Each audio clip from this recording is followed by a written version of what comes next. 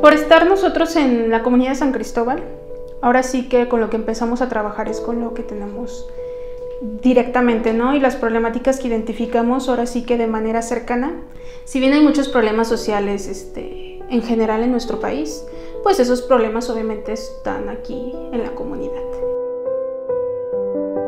Lo que trabajamos en nuestro programa Cedro es de diferentes formas que tiene que ver mucho ya con una intervención más específica aquí en la comunidad de San Cristóbal y algunas otras este, en comunidades aledañas.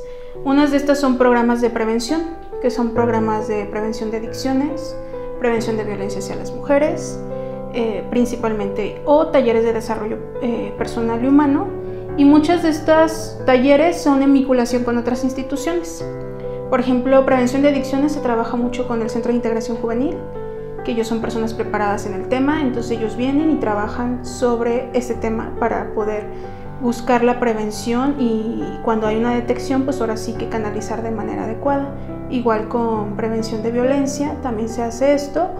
Aparte de que también tenemos, dentro de este programa también tenemos ayuda en, por ejemplo, lo, tenemos cada año lo que es la caravana de Día de Reyes. Mediante la alianza con Hasbro, nosotros podemos ir a comunidades aquí aledañas, que son comunidades realmente muy alejadas, que no llegan otras instituciones, que son personas que no tienen los recursos para poderles dar a sus hijos algún juguete. Y sabemos que en la infancia es una etapa muy importante y de mucha ilusión.